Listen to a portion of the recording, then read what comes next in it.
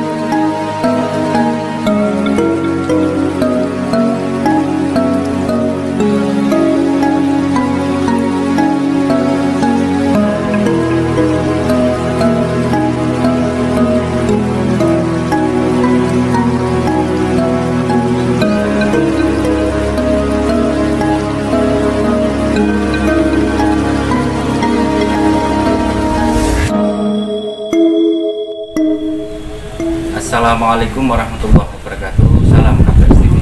Eh, ya teman-teman, sekarang Agus Alfakir berada di daerah Boto, eh, Kecamatan Locare, teman-teman, Kabupaten Nganjuk. Di sini sesuai dengan requestnya Kang Edi. eh, di sini Kang Agus berada di pemakamannya Mbak Pengging, seperti itu. Dan di samping Kang Agus ini, Assalamualaikum. Bu. dengan Ibu Yatmi ya, dengan Ibu Yatmi teman-teman dari warga sekitar sini. Eh, maaf Bu, mau tanya, eh, di sini benar ya ini makamnya Mbak Pengging? Nggih, leres. Oh ya, terus juru kuncinya di sini itu ada apa tidak ya? Nggih dengar-dengar kan bersih ngoten mawon nggih, dengar-dengar kan bersih sing ngoten mriki. Sing lingkungan sekitar itu. Iya ya, seperti itu ya. Jadi nggak ada juru kuncinya ya? Wonten. Oh. Iya iya iya, ya seperti itu. Oh. Jadi untuk sejarah-sejarahnya Bu Yatmi nggak nggak tahu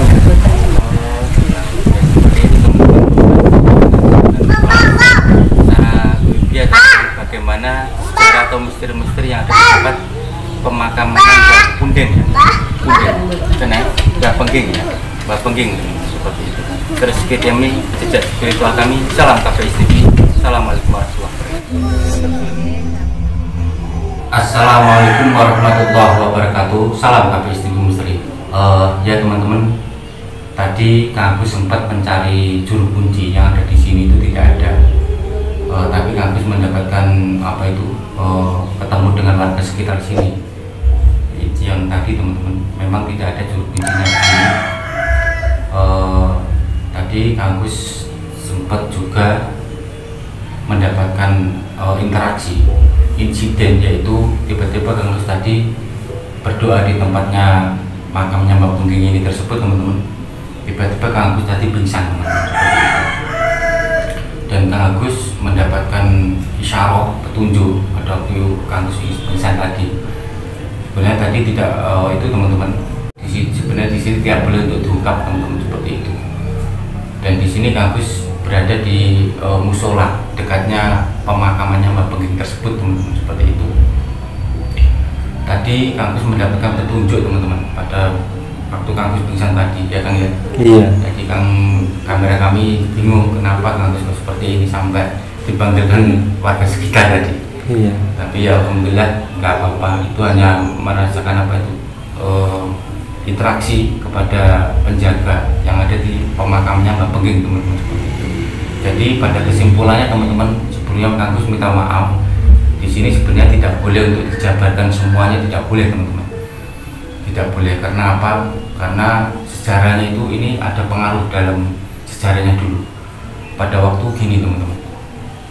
Pada waktu dulu Mbah Pengging ini tersebut beliau dari kerajaan Demak dari Raden Patah di bawah pemimpin Raden Patah pada abad 1500 sampai 1518 Masehi teman-teman seperti itu.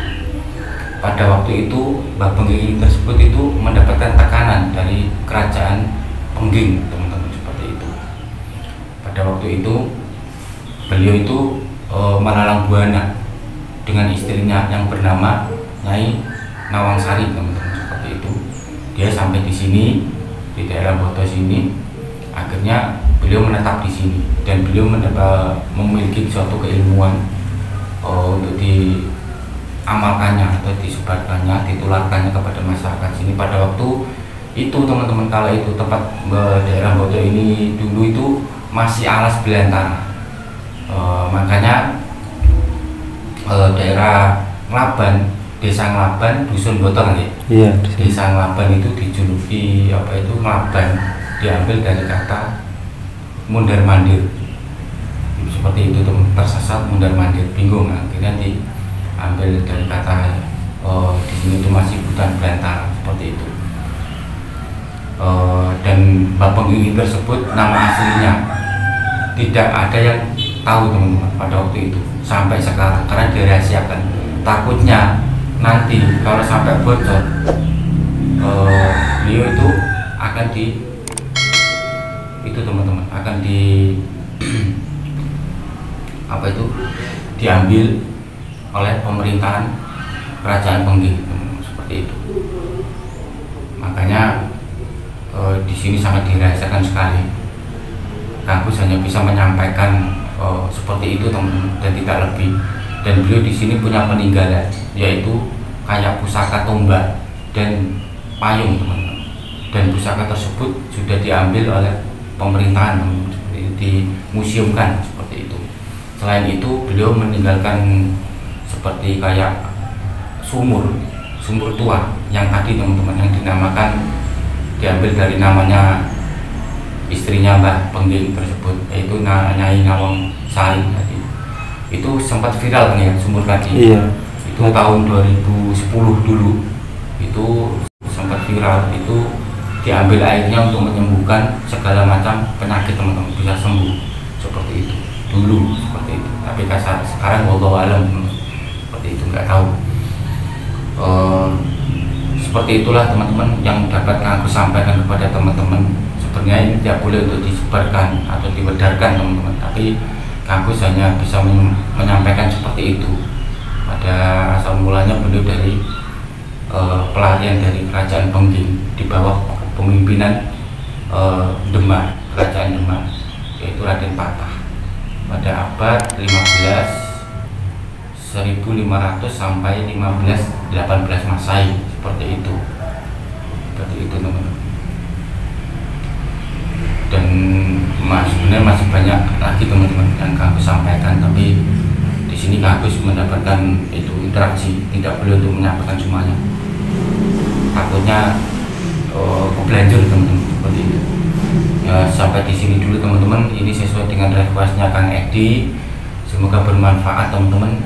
Dan kalau teman-teman ingin request tolong kasih alamat desa atau dusun dan kecamatan yang lengkap teman-teman biar nanti kami tim KBS TV Misteri tidak sulit untuk mencari lokasi tersebut. Seperti kayak contohnya Kang Edi ini teman-teman memberikan informasi yang sangat lengkap sekali.